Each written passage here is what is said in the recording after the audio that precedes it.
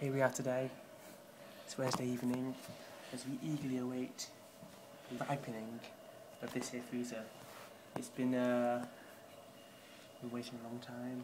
It's been uh, eagerly getting more and more colour as you can see. And looking under the, at this rust colour means it's very, very, very nearly there. We're just waiting for the first few drops of the new season. Once we see it, we'll have a confirmation. Now we watch. There's, there's actually a high protein content in this rust. It can keep you alive for three more days. than you expect.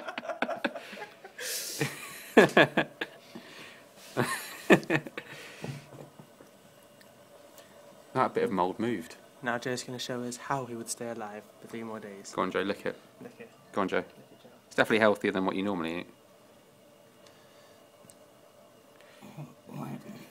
Oh, it's not out of choice that we do this. desperate times, desperate measures. Dum dum dum dum dum dum dum dum.